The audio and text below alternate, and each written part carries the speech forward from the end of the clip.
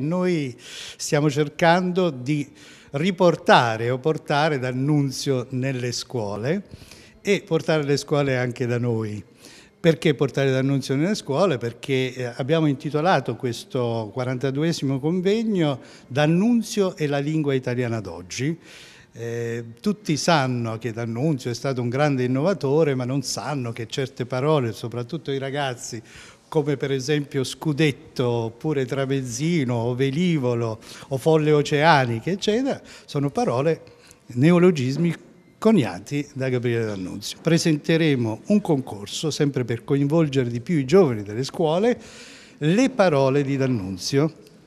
Chiederemo a tutti i ragazzi delle scuole secondarie operanti in Italia e all'estero di scrivere un breve testo di 500 parole su un neologismo, su una parola d'annunziato. Devono commentarla e noi poi una giuria assegnerà dei premi, sono più di 2 milioni i ragazzi che studiano nelle scuole secondarie e quindi questo sarà importante per promuovere la figura e l'opera di D'Annunzio nelle scuole. Presenteremo il sito web del Centro Nazionale di Studi D'Annunziani dove stiamo raccogliendo tutti gli atti, le relazioni di tutti gli atti di 41 42 convegni, eh, sono più di 10.000 pagine e quindi da ogni parte del mondo, a partire da tra, diciamo, tra, tra, non molto, potranno consultare relazioni di grandissimi studiosi di D'Annunzio, relazioni che non si trovano più perché nemmeno gli atti sono spesso eh, rintracciabili. Nel 2016 faremo una quindicina di incontri